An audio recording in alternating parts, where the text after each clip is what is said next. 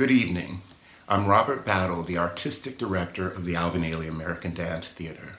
Alvin Ailey believed that dance came from the people and should always be delivered back to the people. And during these challenging times that has caused such separation, we look to the example of Alvin Ailey as we launch Ailey All Access. Streaming series, extension dance classes, original short films by the dancers, and other original content.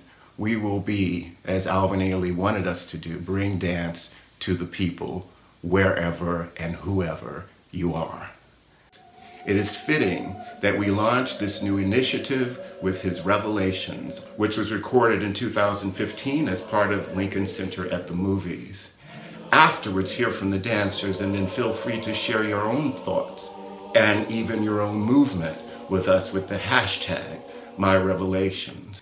And so as you view Revelations tonight, uh, I want you to be inspired.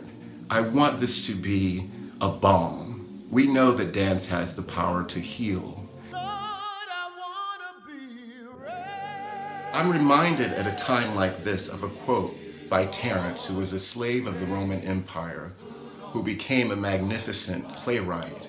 And he said, I am a human being, and nothing human can be alien to me. That, to me, is the power of revelations, the power of dance to bring us together, the power of the arts that celebrates our common humanity. Thank you.